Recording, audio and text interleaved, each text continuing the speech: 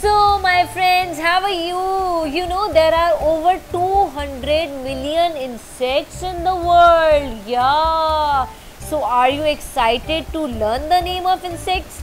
Let's go. Yeah. Ant. Ant are social insects that live in colonies and work together to gather food and build nests. Grasshopper. You know, grasshopper have powerful hind leg for hopping and are known for their distinctive chirping sound. Yeah. Cockroach. You. They have six legs, two antennae and a hard exoskeleton. They are omnivorous which means they eat a wide variety of things. Ladybug. Ladybugs are also known as ladybirds. They are small round beetle with bright red or orange shells with black spot. They are considered as a lucky insect. Aww. Lizard, you reptile, I don't like it. They lay eggs and are cold-blooded insect.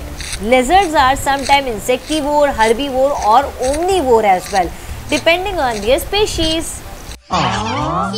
You know, earthworms have long cylindrical bodies made up of many segments called annuli.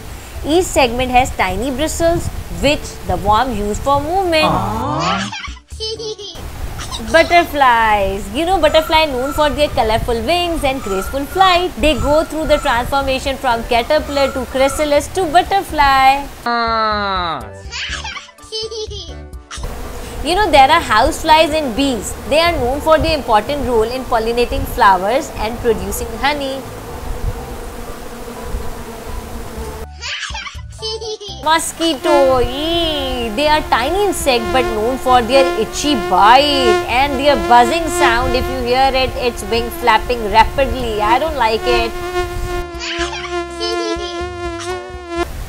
Dragonflies. Dragonflies have long slender body and transparent wings. They are a skilled flyer and predator of small insects.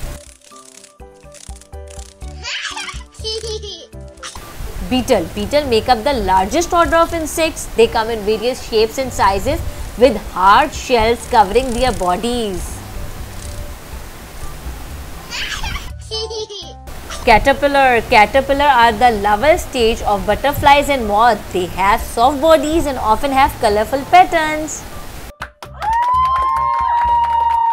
So that's all for today. Bye bye.